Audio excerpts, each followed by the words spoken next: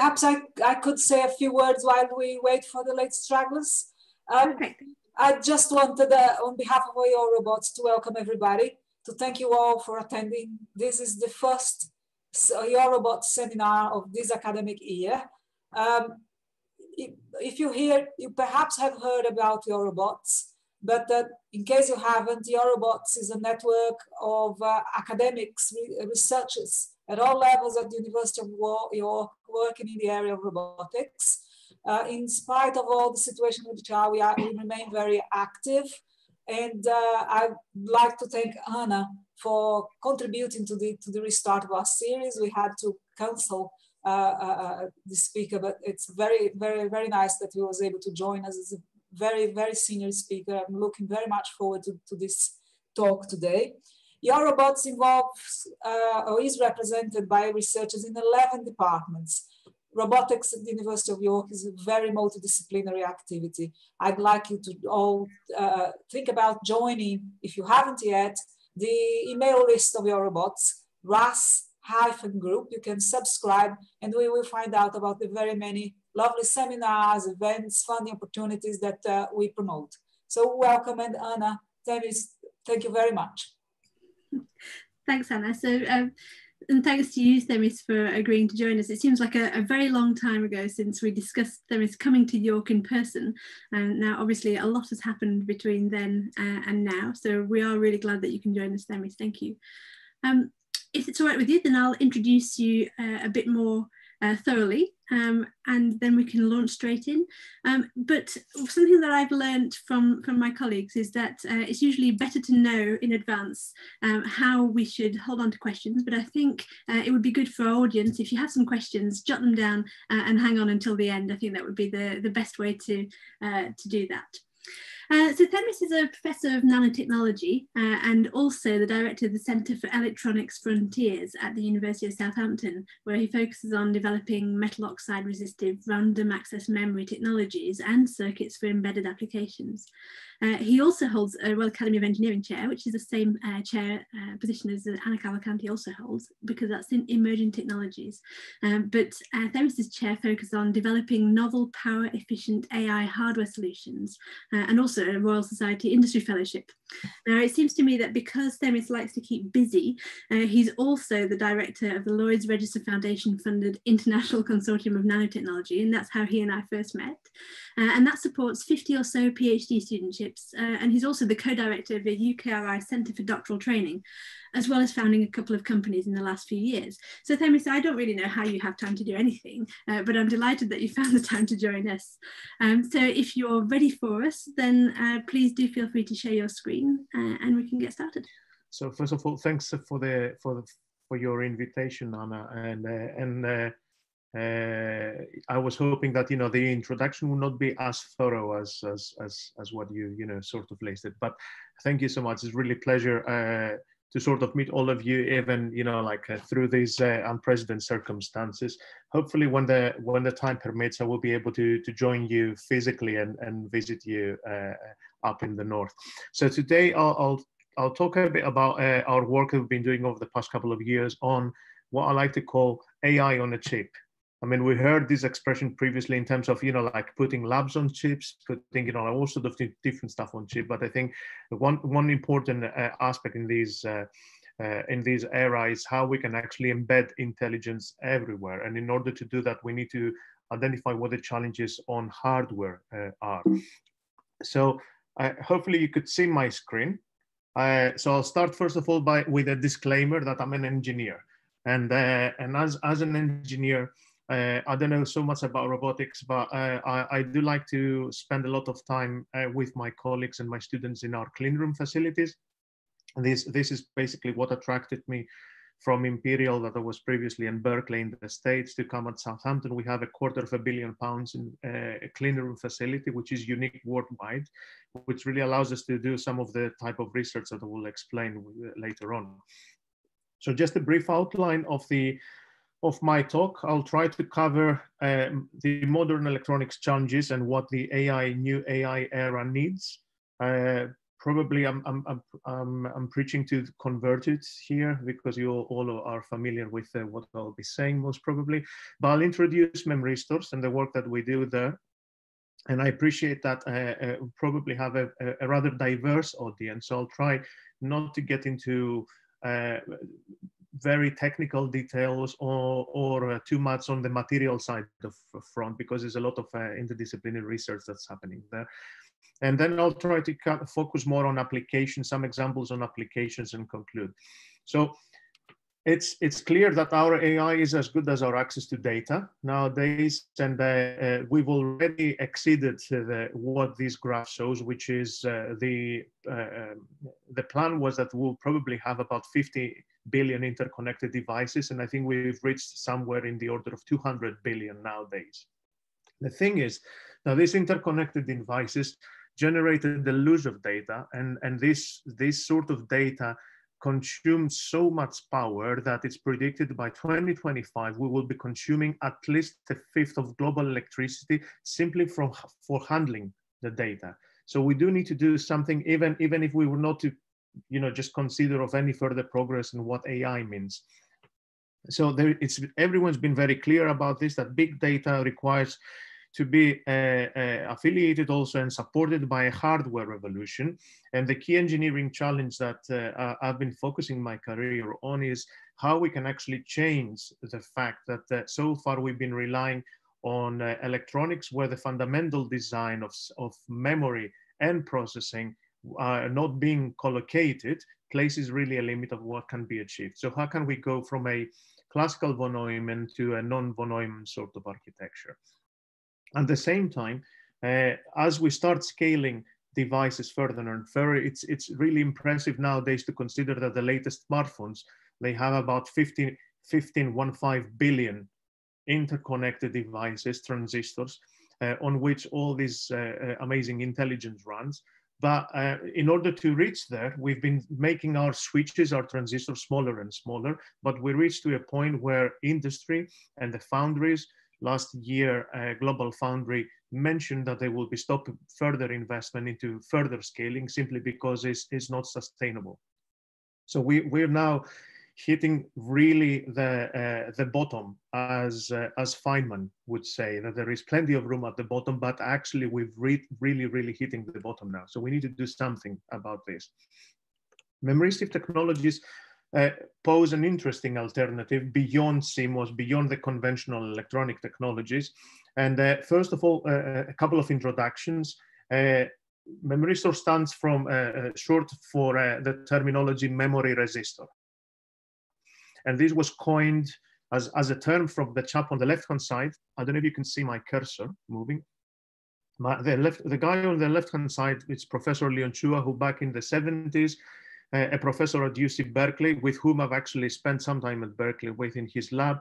He simply, from a symmetry point of argument, posed the question saying that there must be a component that he called memristor linking charge with flux as for example, we have the resistor linking voltage and current. So entirely from a symmetry point of view, from the theory point of view, he posed the uh, existence of this component and he, he predicted how this component should actually behave, which is nothing more that when you stimulate it with a, uh, a sinusoidal sort of a voltage wave, the, the current that you measure lags in terms of the maxima and minima, and then therefore you observe in the current voltage domain nothing more than this pinch hysteresis loop, which looks like a, an innate shape. Now the, the guy on the right-hand side is Stanley Williams, who uh, a, a bit over 10 years ago, he was working on two terminal devices, metal insulator metal, uh, based on titanium oxide for next generation of memory technologies. And his success was that he managed to uh, experimentally demonstrate this, uh, this behavior, but his really his big success was that he correlated that with the theory that Leon Chua predicted you know, over 40 years ago in this very famous uh, uh paper in Nature that uh, they found the missing memristor. Now, uh, this, this isn't new and we have to be very careful here and I've, I've been quite vocal about this writing commentaries in Nature and, and there is always a little bit of reinventing the wheel sort of attitude in science. So we have to be very, very aware of all of that. In fact, I had a, an, an, a commentary in Nature Materials uh, published a few years ago uh, where I've proven that uh, uh, is, is, a subject that is almost two, two centuries old. Even back in the days of Faraday, uh, they were experiencing this type of behavior. So why should we actually care? We care because these devices are highly, and when I say highly scalable, I'm showing you some of the examples produced in my labs here. So this, this that looks like a carpet here is an array of these uh, crossbar uh, devices, where, uh, and they occupy about one by one micrometer. So within a, a, one micrometer square, you actually have 1,024 devices. So just a couple of atoms wide.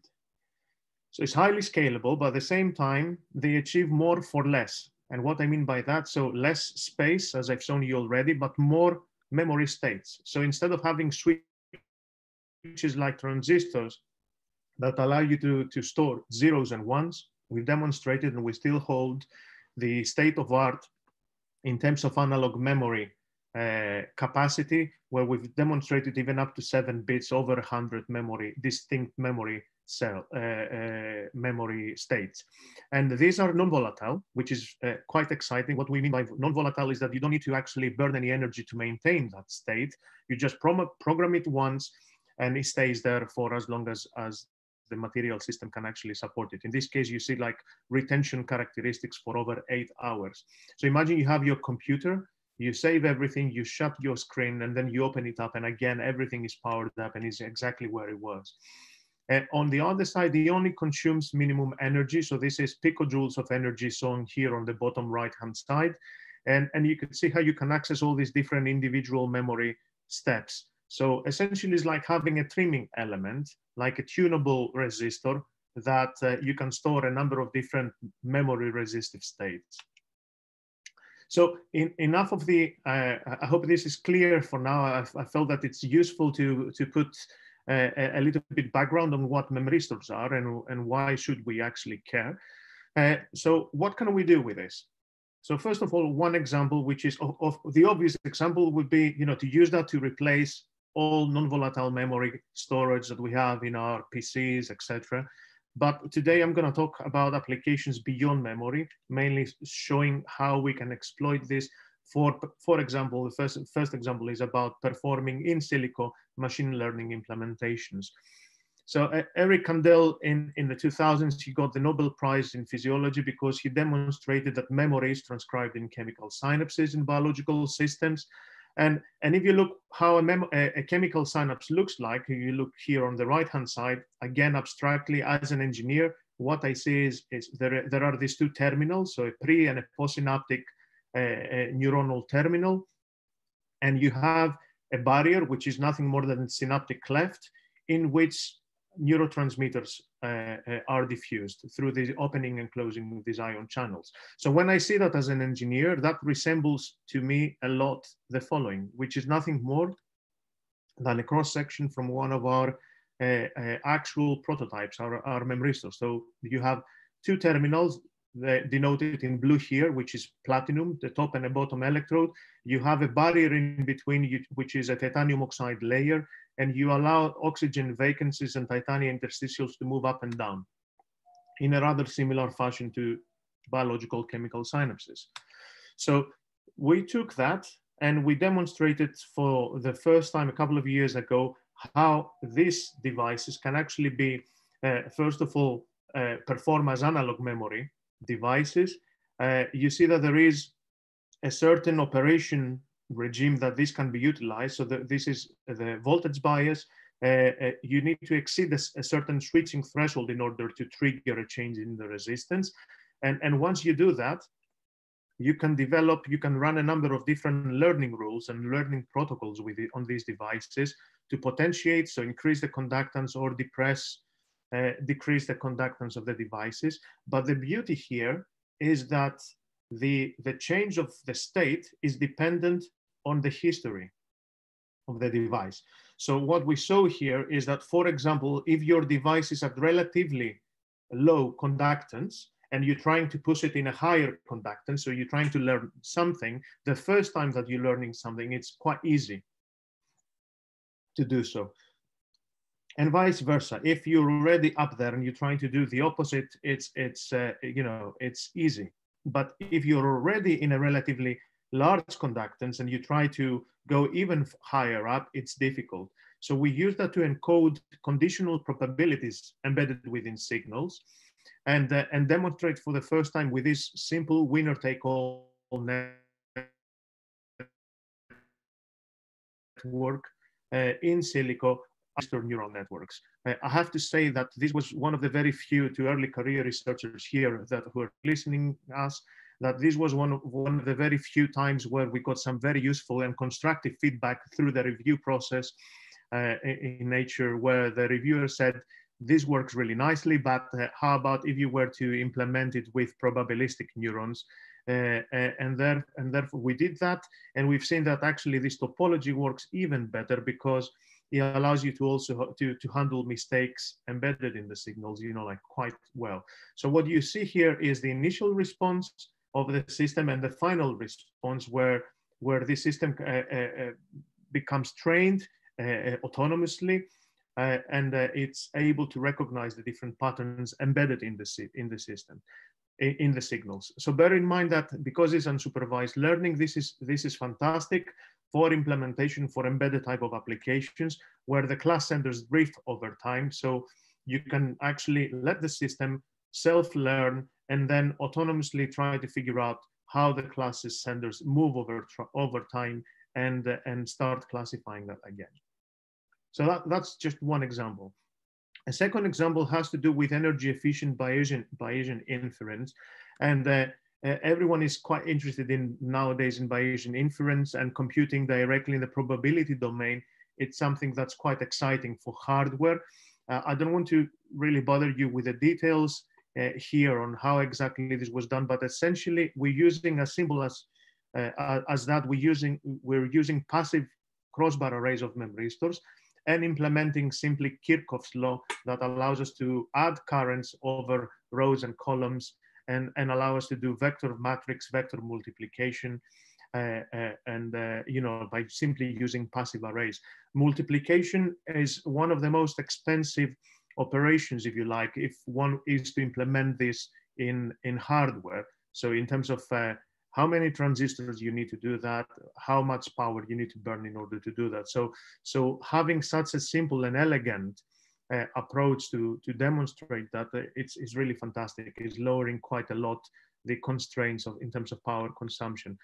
And, and that's actually some work that we did collaboratively with uh, some colleagues from uh, ECS from the computer science department uh, uh, that we presented at NIPS.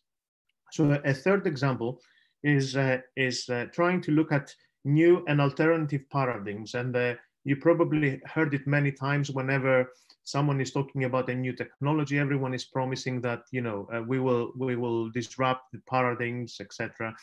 But here we actually believe that we did something like that, and I'll explain how. So first of all, our world is analog. We don't see, smell, sense, with a fixed bit precision. We are continuously processing analog signals. But nonetheless, for the power constraints that I mentioned previously and the scalability constraints of the technologies, our electronics is mainly operating in digital. So we have two very dissimilar words that need to be interfaced and that's always posing a lot of a lot of challenges how do you do the transformation between the different domains and and you know how can you become even more competitive? Now, the thing is that if we look at the different paradigms in circuits design, we have digital, we have analog, and we also have the so-called mixed signal, which where the mixing of the two happens, but nonetheless, the mixing is happen at signal level only, as the paradigm says. Uh, if you look at the underpinning technologies, still this remains separable. And, and uh, this is problematic because still we need to handle data and push data back and forth, which causes latencies and causes additional power consumption in databases. What we've done here is, is we try to effectively marriage the two, these very two dissimilar words by the introduction of these analog memory uh, devices, these memristors, with standard digital logic. So here is an example of a, a primitive component, uh, an inverter, where you would expect to get this, uh, uh, this very typical transfer function characteristics for an inverter. But what happens if you start introducing these analog components in here? You actually skew the transfer characteristics of your inverter and you end up having something that is, uh, uh, that is allowing you to perform analog computation. And, and the, the beauty of this is that you can go and reconfigure, obviously, these memory states. So immediately by, by reconfiguring this, you can shape and you can tune these analog reconfigurable gates as you wish. Uh, and you might say, why, why would this be uh, uh, useful? Here just yet another example that is using this concept. And with a very simple uh, uh, readout circuit, we're able to store different values here for creating in silico classifiers that are very, very efficient instead of relying, for example, to deep learning networks that indeed they are extremely efficient, but they consume a lot of resources, a lot of layers, a lot of time for training. Uh, here you, we develop essentially very, very bespoke classifiers that are looking for very specific patterns. And this is extremely uh, uh, power efficient because it typically sits idle, consuming minimum power. And whenever you find the target, it raises a flag. It says, here it is, I got it. The beauty of this is that even when you are far off this, uh, uh, uh, this sort of domain that you of, of interest, it tells you, this system tells you which way you need to move, which is really nice. And then uh, why would that be useful? Uh, again, classification and uh, embedded classification is, is, is key into many different applications. Here we're just demonstrating that you can take this concept scale it and array it into what we call, you know, it's a template matching pixel essentially. Uh, and you can scale it and you can array it and you can start looking at different biosignals in this particular case. What you use it for in the end of the day doesn't, it doesn't really matter because all, all of it is data in the end of the day, whether it's for natural language processing, whether it's for, uh, you know, for image processing, you know, you can still utilize that. And the only thing that it would actually change is the number of, of uh, pixels that you can actually tessellate in an array. So moving on, here is yet another example that employs the device physics, but for sensory data compression. So everyone is talking nowadays how important it is to uh, to devolve some of the computation that happens in the cloud to the edge. What do we mean to the edge, right? Because again, that has many different connotations, many different meanings.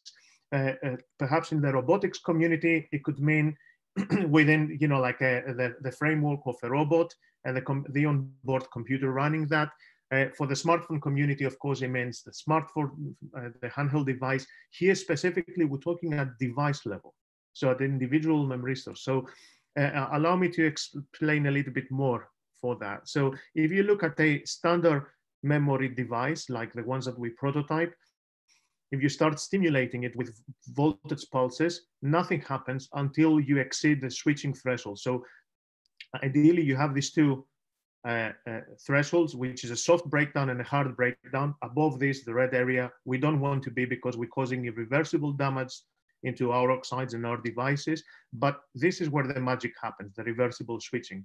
So below that, nothing happens. There is no, no change in the conductance of the device as also shown here with this sort of data. So as you start exceeding the, going over these thresholds, you start registering these non-volatile changes in resistance. Now, if you take this, as, as I show you here, essentially this demonstrates that the device has the intrinsic characteristics of a, a, threshold voltage integrator that we can, uh, we can actually utilize it and in, integration is fantastic always for sensing and, and, and that's exactly what we did. Here are some, just some examples with colleagues from the Max Planck Institute where we were getting biosignals for, uh, from uh, rat neurons, uh, sensing those with a multi-transistor array, and then just converting those into uh, appropriate sort of pre-amplifying the signals so that we can uh, uh, induce changes in conductance.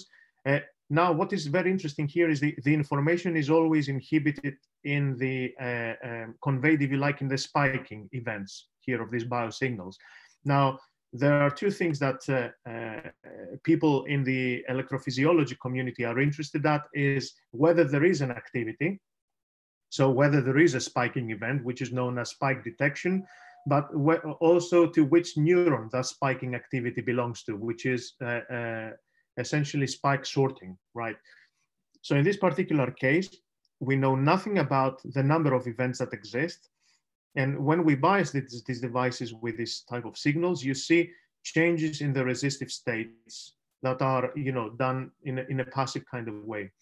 Uh, if you if you take this input and you you invert it, you could see that uh, there is an analogous change in the other side, resistance and so forth. So that, that's just a sanity check. But through that, we can actually count events. Uh, and uh, this is shown much nicer here where you see three different types of events and you see each one of them registering a, a corresponding change in resistance. Now, this is important because in, in other ways, we would actually need to uh, uh, uh, spend a lot of power. In this particular case, we demonstrated at least two to three orders of magnitude reduction in terms of power consumption per channel from the state-of-art system that does spike detection. And, and, and this is happening because simply we, we, we do not have to be continuously on. The devices, we do not need to oversample, uh, you know, like our, our uh, uh, multi-transistor arrays so that we make sure that we monitor every single event. And the devices passively accumulate this information. But the other beauty of this is that not only they do that, but they, depending on the envelope of the signal, they change their, their resistance in a corresponding way. And because they do that without really bothering you too much in the details, you're also able not just to perform spike detection, but also spike sorting. Because if you were to plot it in this particular way, where you're looking at the fractional changes of resistance per event, you will see this, uh, these lots appearing naturally. So instead of doing template matching externally, uh, which, which causes a lot of uh, uh, constraints in terms of the bandwidth and in terms of power consumption, you probably need a supercomputer to do that at large scale. Uh, you can actually do that, delegate that really at the edge, at the device level. Now, why is this important? Allow me to say just a final point on this example, because bear in mind that most neuromorphic type of uh, uh, sensors nowadays whether it's uh, smart imagers or, or microphones, etc., they operate with spiking events. So although this was originally developed for, uh, for biosignal analysis and for electrophysiology, a, a, tool for electrophysiology, this is actually fantastically applicable to so many different other areas that spiking events are utilized uh, in, in the communication. And, and, and the final example I believe I have here is once you have a device and a technology that uh, speaks the same language with biology, uh, immediately you know you have a, a, great technology to act as the link between biology and engineering.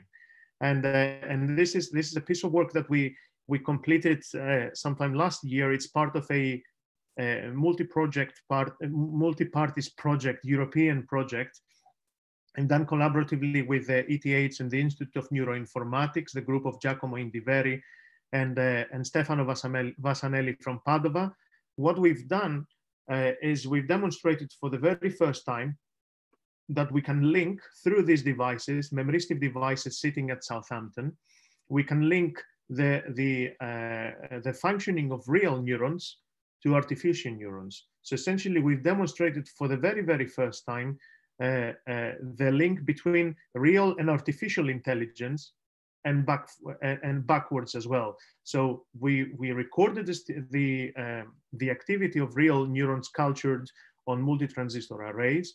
The signals when sent over UDP. By the way, this is an example that has attracted a lot of attention, not, not only because it's personally, I'm, I'm quite excited because it's really cool. It's the first time that real and artificial intelligence is merged, bidirectionally in real time, but it was also done over the web.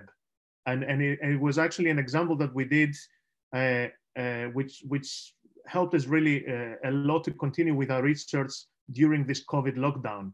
because we were simply doing that from uh, instruments that we've developed through one of my startup companies, as Anna mentioned, ARC Instruments, that allows allowed us uh, us as well as collaborators to to run this from uh, our bedrooms essentially. So this this was really uh, not obviously not the neurons, right? Uh, there are certain ethical constraints there, but uh, it, it, was really great fun because we can do that over the web, and we can uh, in fact demonstrate a geographically distributed biohybrid neural network for the very very first time. It's it's scary, but uh, it's it's extremely powerful. This was done for very very few channels and uh, and we're now working on, uh, which is reported in this paper in scientific reports, but we're now working on uh, on much larger scale sort of implementations to do real time interfacing. So so really, what's next? I mean, uh, Ana mentioned my uh, uh, Royal Academy of Engineering chair in emerging technologies, and I've spent the past decades, decade or so from my career focusing on developing the technology, maturing the technology, and the infrastructure and the tools that we need to have for using the technology. And now going forward, you know, we're focusing more, especially under my Royal Academy of Engineering chair, in, in particular large-scale implementations for AI chips. So we've identified four key computational pillars.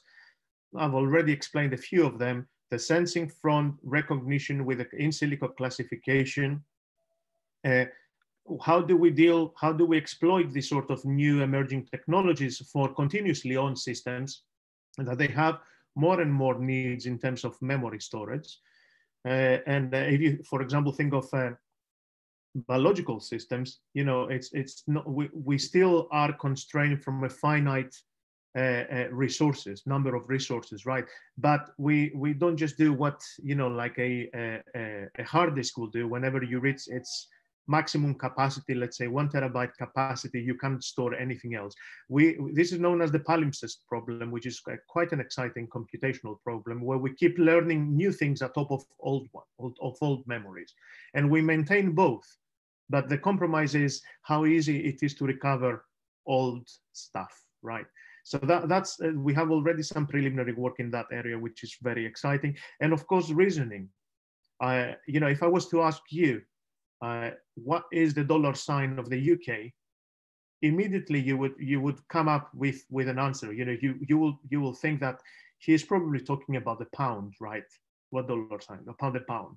But if you were to ask a, a computer the same question, you will you will not get any any response simply because there are two data sets that are completely uncorrelated. Nonetheless, there are correlations there. So manipulating symbols and symbolic processing is something that we're quite excited with, which is obviously very exciting for robotics as well. And having hardware to do that, it's, it's truly exciting. And, and because I like to dream, is I, I, I, the way I see that is that if you have these four core capabilities, which in my opinion define machine intelligence, machine intelligence essentially depends on uh, the ability of a machine to sense its environment, recognize some patterns, learn something out of that, and reason. So you can you can you know sort of pave the way towards thinking machines effectively. I've got a little video. Artificial intelligence is transforming the way we interact. It, it doesn't sound okay? Artificial intelligence is transforming the way we interact with the world.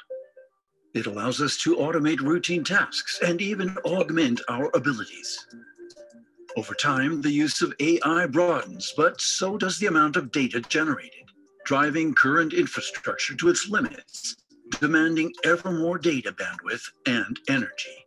We address this problem at its source, embedding intelligence everywhere by delivering AI on chips. Our solutions are powered by a new electronics fabric that we have developed over a decade of research which uses nanotechnology to achieve computation, memory, and energy performance impossible to deliver by modern electronics. To support the creation of intelligent machines, our AI chips enable four core capabilities intelligent sensing, pattern recognition, online learning, and reasoning. Our sensing chips address the power and bandwidth challenges of big data by compressing information on site, allowing monitoring more sources in parallel. Our pattern recognition chips empower local classification capabilities, minimizing the need to share sensitive data online. By being less dependent on cloud computing, these emerging AI systems are able to react faster, allowing to make critical decisions in real time. Modern electronic systems are progressively operating continuously and often need to memorize events quickly and over longer periods. Our advanced learning solutions can support such emerging needs without saturating memory resources. Our solutions are designed in ways that they can empower machines to reason and apply logic and common sense like humans do, enabling them to use judgment when dealing with new situations. These core capabilities pave the way towards intelligent machines that are destined to revolutionize the use of AI in serving modern society enabling smart assistants, autonomous vehicles, and neuroprosthetic devices. All made possible by our vision for embedding intelligence everywhere. So that, that's essentially in a nutshell the, the, the vision for the work that we're doing within my Royal Academy of Engineering chair. We already get, uh, you know, uh, uh, started developing some of these activities. Of, of course, COVID uh, caught with us and uh, uh, but you know things are going quite well i would say so i mean just in a nutshell how could possibly the future look like i think a key and exciting prospect is that you know the privacy of the data the fact that you know you're able to change the uh, where the computation happens and that business model uh, uh, provides some other exciting opportunities and by by by having you know not having to share your data continuously with the cloud you're enabling other alternative unprecedented opportunities for the users. Maintaining the privacy is just one example, right? The, uh, I think in the video was also mentioned uh, the um, uh, real-time responses and uh, minimizing latencies, which could be also particularly important for autonomous vehicles, as well as uh, robotics. Uh, the other thing that we're working on as part of my Royal Society Industry Fellowship is collaboration with Galvani Bioelectronics, which uh, is uh, uh, spun out from uh, jointly from GSK and Google about three, four years ago with half a billion into that. And really the vision is that uh, uh, the next generation of, of medical interventions would rely on electronic devices that will be monitored in, in real time our about signals and intervening in situ, rather than using drug compounds that also have side effects. You, you can immediately see uh, uh, Ana uh, et al., you know, like all the security implications and the ethical implications, and I'm very happy to discuss on that as well. And of course, because I said I'm, I'm, I'm a dreamer, I like to think that, you know, the, the work that we demonstrated recently really paved a very, very small step towards uh, the interaction of uh, artificial intelligence and real intelligence. What, how, what happens, I mean, if, for example, can you displace dysfunctional parts of the human brain with neuromorphic chips running in these technologies? For example, people suffering from Alzheimer's. Or can you get an upgrade yourself? I certainly might need one in a few years' time or maybe even now. So as, as Feynman said, and I'm very uh, fond of Feynman, you know, what I cannot create, I do not understand. And I think there are really great opportunities to also utilize these technologies for modeling biological systems. Of course, there is a lot still that we need to do, and we've been quite vocal about this. Uh, and this is just one recent commentary we published in Nature Comms where we, we described, you know, what are the challenges hindering such neuromorphic hardware technologies from going mainstream the technologies are still uh, at their inf infancy. So you can imagine there is loads of uh, issues with yield, with reproducibility, with availability of these technologies across different, you know, different groups. But we're getting there. I mean, Intel has already recently introduced products that depend on this type of technology. So, so you know, what's the space? And and uh, uh, we're trying to do as much as possible on our side. So this is a, a service that we are trying to establish across the UK, which was uh, provided through a program grant that I'm leading called Forte, which is collaboratively uh, collaborative work between Southampton, Imperial, and Manchester, where we develop the technologies and uh, and uh, we do that the monolithic integration of these technologies together with CMOS circuits. Uh, uh, Southampton is uniquely located to do that because of the large scale uh, prototyping facilities that we have available. So now we, we're putting a recommendation there to provide this as a service to the broader electronics community in the UK. And there is there is a lot of excitement there because you know that can possibly give us an edge, if you like, in terms of the next generation of AI system. Of course, what I've described is is is not my work. It's uh, it's uh, thanks to all of these fantastic uh, uh people and and of course uh, the funding that we had from uh, from a, a, a variety of sources, mainly RC UK, as well as Royal Academy of Engineering and, uh, and different uh, foundations. So with that, I think I'll stop here and uh, hopefully we still have time for, for question. We did, I hope we very much didn't lose everyone in the material sort of side of things or the technicalities, uh, but really be glad to get any questions. Thank you very much. That's uh, fascinating, and it's. Uh, I'm, I'm glad you're not looking to upgrade your own brain because uh, then you will be unstoppable. I think. Um, but it's uh, it's nice to see that your group has thrived even in in 2020. Um, so really, I'd like to open the floor to our colleagues to uh, to ask some questions. Uh, perhaps you could unshare your screen, and then we could have um, people on a gallery view, um, which would help everyone to to see each other. Does anyone have any mm -hmm. questions? You're all currently muted, so you'll need to unmute yourselves. Uh, and I can't see everyone waving, so please do speak up. Has a question. Colin Paterson has a question. Hi there. Thank you. It's uh, really interesting and exciting stuff. Um, I have. I, am sorry if this is a naive question or I misunderstood. Uh, you have some really interesting characteristics of your uh, electronics there that we end up going from binary to nonlinear analog features. I guess my question is, how does that change the stack that we need to have in terms of developing these things? And even things like obviously my, my, experience in neural networks we understand the nonlinear characteristics and we can do the learning with respect to them. What what do we have to do here?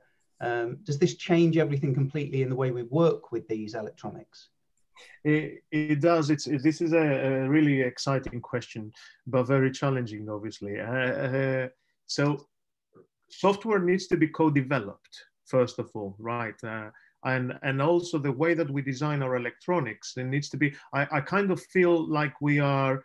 Uh, I don't know, 70 years back when transistors and integrated circuits were introduced by Kilby, and we're trying to figure out how we can actually do logic, right? So, so there are the, the, the concept I've shared with you, which was published in Nature Comms, the only reason he made it into the Nature group was because it was completely changing the perspective. And, and it was as simple as saying, okay, we have an integrator, a digital, uh, you know, logic gate. What happens if we start introducing, you know, like these analog components in here, right? Which was, you know, as simple as that, but it led into so many different areas. And if you,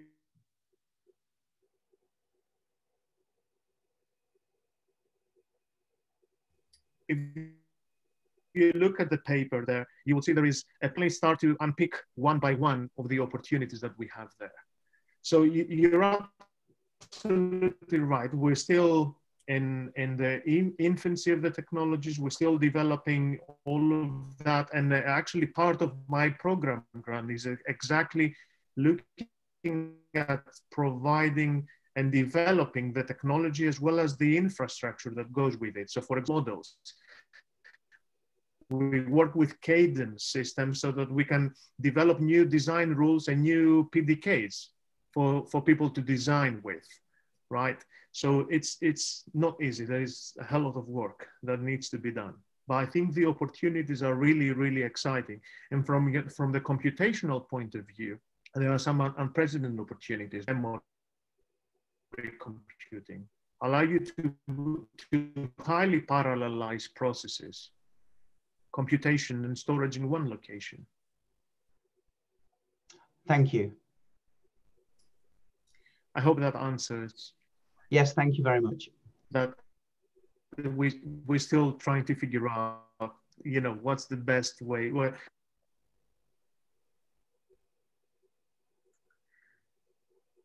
so I think we've got a slight lag with the uh, with the video. Um, I'm certainly. Any other questions? I'm certainly hearing a little bit of breakup, but uh, thanks, Themis, for that one. Uh, anyone got any other questions? Then just either let me know within the chat that you have a question. Uh, that's probably the, the easiest so I can spot you um, or speak up. Stephen Wright has a question on, he raised his actual hand. Thank you. Sorry, yeah. Uh, yeah, I, I, was, you, you mentioned the um, irreversible switching stage and a reversible switching stage in the behavior of the device. Um, uh, I just wondered if there was a, uh, a life issue on the reversible, you know, because the device is history dependent. Uh, is it something where the characteristics change over time so that the uh, device has a, a, a, finite life? Yes, so uh, there's a couple of points there. So all electronic components have a finite lifetime, right? I mean, the same is true for standard flash, NAND memory, Okay, uh, and the same is true for memristive technologies.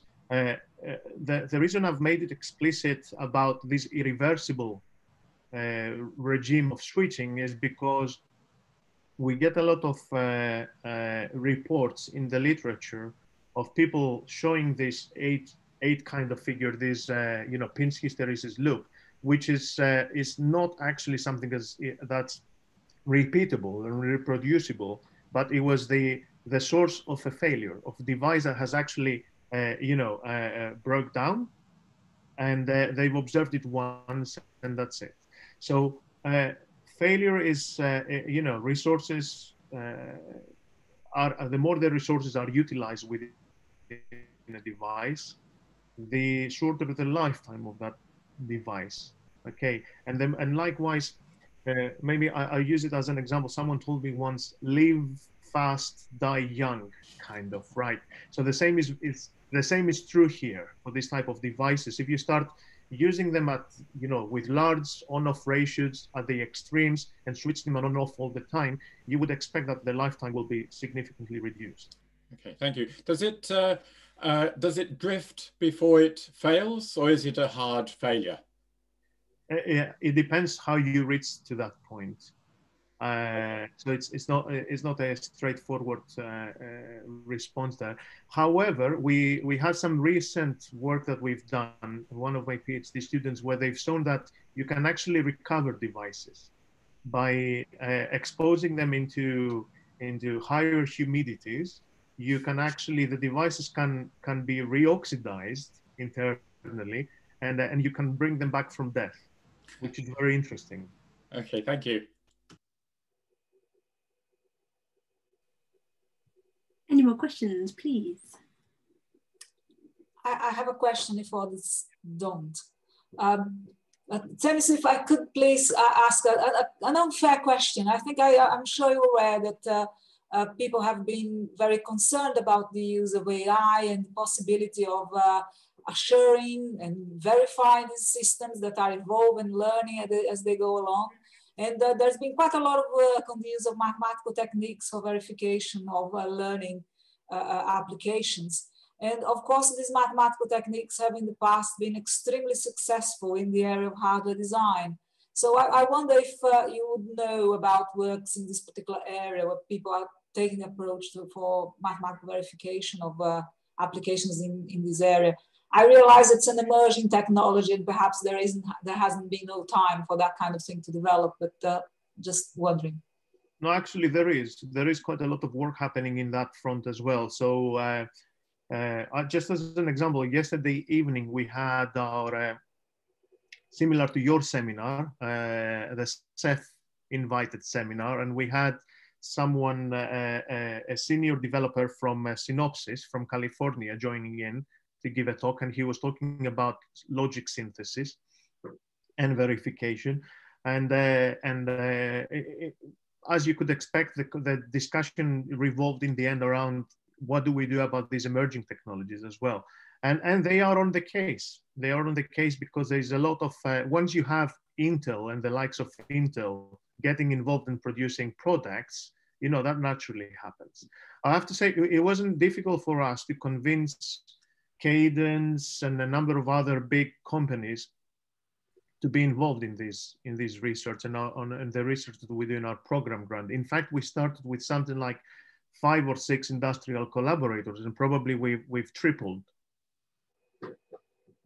Oh, so uh, yes, definitely, uh, it's it's it's something that uh, is uh, very important. The problem people have, the community has at the moment, is the that the there is no particular flavor of technologies. Bear in mind there are loads of different materials that do the same stuff or similar kind of uh, switching. So until someone like TSMC, one of the key foundries, comes on board and they say, they already do that by the way, and they say, this is a technology that we've developed and this is now becoming mainstream, uh, mainstream and we provided you know, a commercially available technology, uh, uh, that, that would you know, in, in Italy, it would allow everyone else when they do verification, logic synthesis, etc., to follow. Because at the moment, it's a little bit segregated. Okay, we got a program grant to do that within the, the, the remit of the program grant, but uh, I think that's as, you know, the best that you can actually do. Uh, if, if I may respond also, someone said in the previous comment about the how it was discovered by students, did someone spill water on one? Kind of, right? Uh, so we had, we've always struggling in finding, you know, like working devices in the group, right? So one of my PhD students that was part, uh, he, he was still at Imperial when I left. Uh, I was providing him with devices and he was burning these devices, you know, like, I don't know, one package per, per week or so. Uh, and these are quite expensive uh, at prototype state, stage. And at some point, uh, he had a, a stack with all of his samples. And uh, because he ran out of devices, he went back and he started characterizing some of the old devices, which were all presumably dead, but they would be sitting on his desk for months, if not years. And he realized that the majority of them were actually all working. So this is kind of what triggered uh, the the further ex uh, experiments we did, and we had the student who, who who triggered it, you know, like by introducing these devices intentionally after they got into this irreverse, irreversible sort of regime into high uh, uh, humidity type of environment to recover their operation. So yes, kind of by accident, a lot of stuff happened by accident. And my, my suggestion again to students and, and early career researchers is don't, don't be afraid to make mistakes and break things. As long as you don't break something super expensive, you know, like at the equipment and all of that, but the rest, consumables is to be, you know, broken down and to use them. Otherwise, you won't be able to discover anything. And perhaps never throw anything away. Uh, that could be your other advice, even if it's broken. yes, um, indeed. So we have a question from Danish about uh, material, uh, sorry, about machine learning and applications. Danish. Thank you. Um, so just following from what Professor Cavalcanti said, um, I come from a background in advertising and data analytics. So excuse my ignorance if it's probably an answered question in the industry, something I don't know. But without trying to sound too George Orwell about this, um, how is the direction of this technology managed or regulated? Because if we're, if we're relying on machine learning to essentially mark its own homework, how do we as humans or engineers intervene to keep the learning in check? Because from my previous experience, what we designed as product designers in, for example, I worked in social engineering and advertising, it, we allowed the machine learning to assess itself and uh, essentially upgrade itself. And what happened was what we planned compared to what the end result was was completely different. So how do we manage this when AI or machine learning is capable of modifying and upgrading itself to such an extent? That's a brilliant question. In fact, the, the challenge here is even worse, uh, which we which we actually utilize as as a benefit. And let, let me elaborate a little bit more on that. Uh, uh, you probably have seen in the news how uh, particularly Chinese firms that try to sort of reverse engineer designs of prototypes, and they have these very, very elaborate techniques where they start uh, sort of uh, removing layer by layer from from uh, ASICs, from chips, and through understanding what the architecture of the chip is, you can you can understand what the functionality of that system is.